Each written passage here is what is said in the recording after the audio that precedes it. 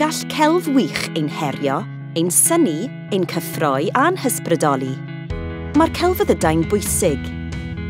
Mae'r celfyddydau'n bethau da yn eu rhinwedd eu hunain, ond gallant hefyd gael effaith bwysig drwy'n helpu i fyw bywydau gwell, bywydau iachach, bywydau yw mwynhau. Ni all y celfyddydau ateb pob problem, ond gallan nhw ein helpu i archwilio rhain a llawer o faterion anodd eraill oherwydd drwy ymgolli ym mhwer y celfyddydau, neu drwy fod yn greadigol ein hunain, rydyn ni'n agor ein calonau a'n meddyliau i lefelau dyfnach o fewn welediad, greddf a dealltwriaeth.